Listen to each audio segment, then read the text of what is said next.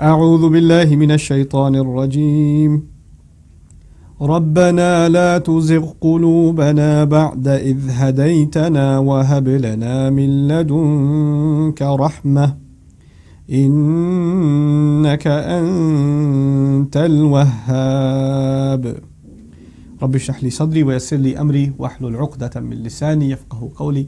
فالحمد لله والصلاة والسلام على رسول الله وعلى آله وصحبه أجمعين. Assalamu alaikum wa rahmatullahi wa barakatuh, Quran Weekly. Today, with the eighth ayah of Surah Al Imran, I want to share with you some reflections from a very powerful and very beautiful dua of the Quran. We turn to Allah and we say, Rabbana la tuzigh qulubana. I chose this dua especially of all the ayat of Al Imran. I was thinking which ayah should we begin with in this series. I chose this ayah because Ramadan is particularly a relevant and good time for this dua. Master, do not let our hearts deviate. La tuzigh qulubana. Zagha in Arabic is when something curves slightly and you don't realize it's curved. You know, like a they, they used to use it for a grave digger who's supposed to dig a rectangle, right? But you know, when you're in the act of digging, you don't really keep track of a straight line. So by the time he gets out, it's like this this bend in his grave. It's like a, you know, almost like a C. And so because of that problem, this, this was called zayg in Arabic. Now from it you get the, a person who's going straight and doesn't even realize when they took a wrong turn and they deviated. So this person is za'igh, you know. And the, so the dua is رَبَّنَا لَا تُزِغْ قُلُوبَنَا Don't allow our hearts to go deviated. You know, and deviation isn't a 90 degree, like you're going this way, you started going that way. You just forget about it. No, the, the heart, when it gets close to Allah, then it doesn't get distant from Allah in a split second. It, inches away from Allah, little by little by little by little by little. And we're asking Allah to put protective measures in place so that we don't slowly but surely get away from Allah without realizing it. And before you know it, you have no sensation of Iman anymore. You know, some of you are feeling a closeness to Allah in this month that you haven't felt in a long time. And you're praying and you're in the masjid, there are people around you, there's somebody making dua and they're crying and you're you kind of just catch on that feeling and you turn to Allah and you start crying too. And then you're like, man, I wish I always had this feeling. And when you say to yourself, Ya Allah, I wish I always had this feeling, that's the time to make this dua. Ya Allah, don't let our hearts migrate away, deviate away, ba'da idh hadaytana, after you've guided us.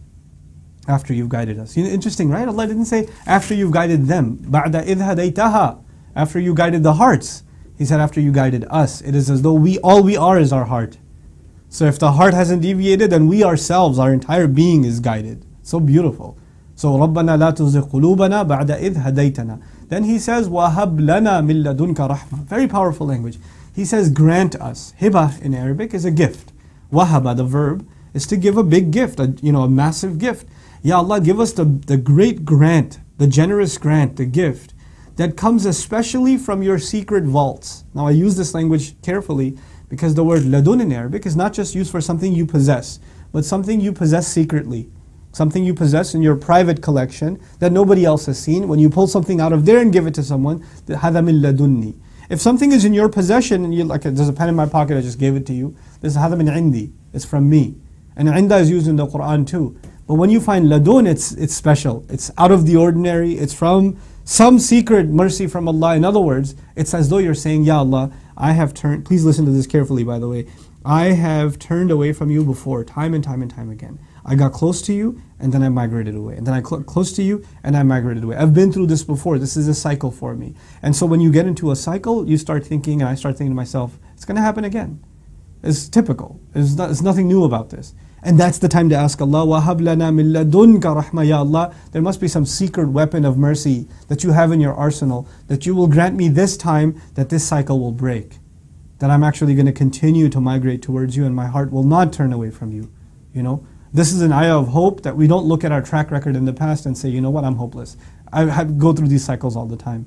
وَهَبْ لَنَا مِن لَدُنْكَ رَحْمَةً إِنَّكَ أَنْتَ الْوَهَّابِ And not even al-wahib. You no doubt are the giver of gifts who gives a lot and gives repeatedly and over and over and over again. Ya Allah, I don't want this gift one time.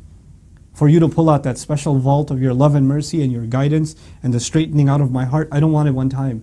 I know I'll need this again tomorrow, and I'll need it again the day after, and I'll need it again the day after. So I call you the one who gives continuous, continuous and repeated gifts. Subhanallah.